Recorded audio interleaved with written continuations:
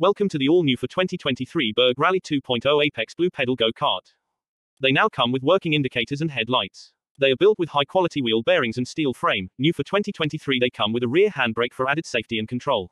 With 5 adjustment point for the seat they will suit from ages 4 to 12 years old.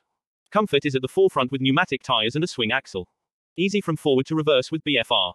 BFR stands for brake, free wheel and reverse. Each go-kart has a freewheel mechanism that ensures you can keep the pedal still while the wheels are turning. They also has a coaster brake. Once stopped the go-kart can immediately reverse. LED lights and turn signals. Bad weather or dark, you'll have better visibility and be more visible with LED lights and turn signals.